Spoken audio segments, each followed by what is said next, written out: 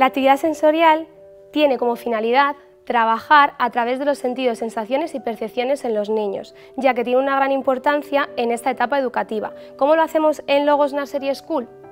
A través de nuestra aula de Snowselling, en la cual tenemos materiales específicos para trabajar a través de los sentidos. Las fases que utilizamos en las actividades, en primer lugar, comienzan a través de los centros de interés y la motivación de nuestros alumnos, pues son el centro del proceso de enseñanza y aprendizaje. En una primera fase, los niños eligen el tema que quieren eh, tratar y desde aquí preparamos unos materiales especiales a través de los cuales puedan activar y estimular estos sentidos.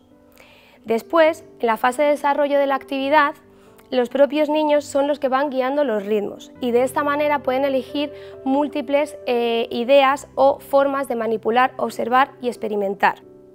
Una vez terminamos la actividad, realizamos una vuelta a la calma, a través de la cual los alumnos se relajan.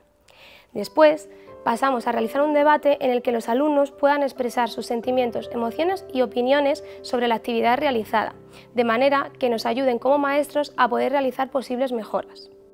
¿Qué beneficios tiene la actividad sensorial en nuestros alumnos?